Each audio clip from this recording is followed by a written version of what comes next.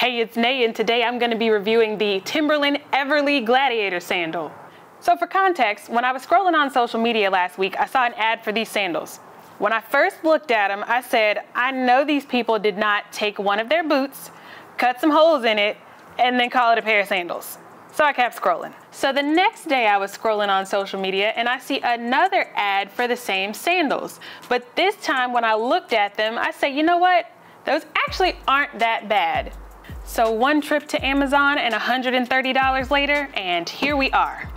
So let's see what's inside the box. Dun, dun, dun, dun, So this will be my first time actually analyzing these shoes. I opened the box when it first got delivered just to make sure that there were actually shoes in the box, but other than that, I didn't really get a chance to look at the shoes. So if this is your first time seeing the shoes, looks like we'll be sharing this experience together.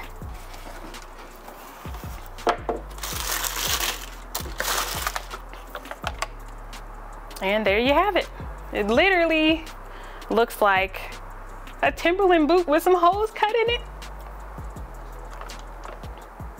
So if you ask me, the shoe is kind of reminiscent of those big sandals that we used to wear in the early 2000s. And that's probably why these appealed to me because they have like a, there's like a nostalgia that comes to me when I look at these. So one of the concerns I heard from women that I talked to about these shoes and the people who were commenting on social media was about the weight of the shoe. Of course, if you intend on buying a pair of sandals ahead of summertime, you don't want to have some type of heavy shoe weighing down your foot. And it's a well-known fact that Timberland boots are very heavy. What I can say from holding these in my hand is that they're actually not that heavy and the weight is almost comparable to like a pair of thick wedges that you would wear in the summertime. But I'm still curious to find out what's the weight difference between these sandals and a pair of Timberland boots. So to get to the bottom of this dilemma, I did what any sane person would do in this situation. I bought a brand new pair of Timberland boots. Now let's go get the scale and run some numbers. So here I have the Timberland boots, the Everleigh Timberland sandals, and two pairs of my favorite wedges for comparison. Also wanted to note that all of these shoes are a nine and a half, except for these boots, which are a nine and a half wide. And I also have my kitchen scale.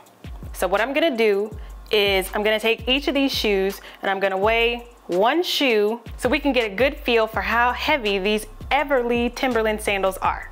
Okay, so we're gonna start with the wedges that I already have in my closet so that we can get an accurate feel for how heavy women's wedge sandals are and the weight is gonna be in grams. So I'm gonna start with the black pair.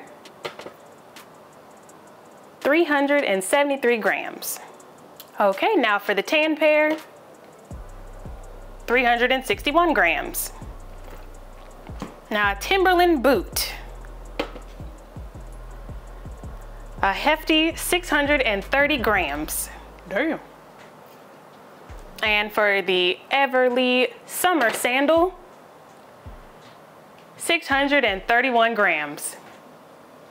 Y'all, I'm surprised. When I was over at the table, you could have never told me that this shoe weighs twice the amount of a shoe that I'm used to wearing all the time. And then to top it off, this sandal weighs more than the boot. I guess the fears that everybody had about the weight was true. But let's see how it feels on my foot.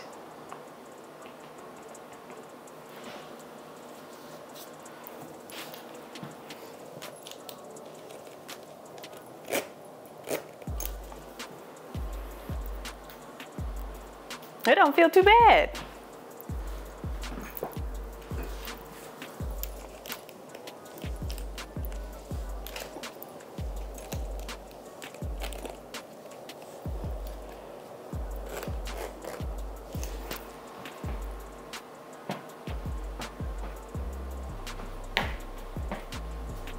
What do you think?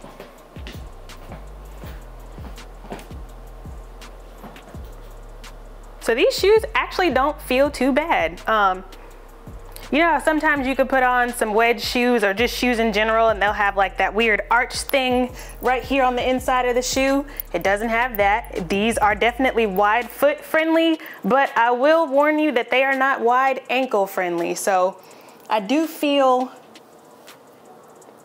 a little bit of tightness around my ankle after I zip it up. And so like, if you plan to wear these and you know, go out drinking or partying or whatever, just be wary because if them ankles get swollen, these shoes are not gonna zip up. As far as the weight is concerned, I guess because I'm used to wearing Timberland boots and just shoes in general, like different kinds of shoes, I can't really say that the weight of these shoes would actually stop me from wanting to wear these shoes. Like they literally just feel like normal shoes once they're on your feet.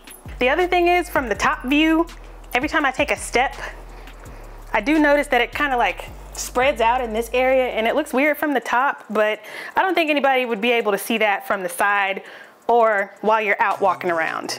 If anything, they're gonna be too busy focusing on how stylish your feet are in these innovative shoes that ain't nobody got.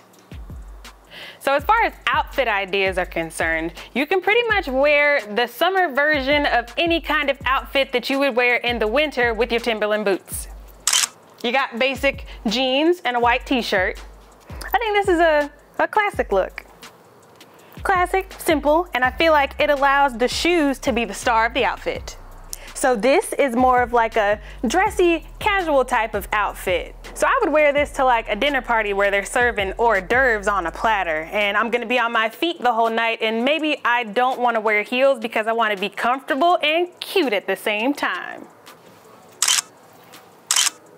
You can never go wrong with a denim romper. I would probably wear this to a day party or brunch where I'm trying to be cute and comfortable.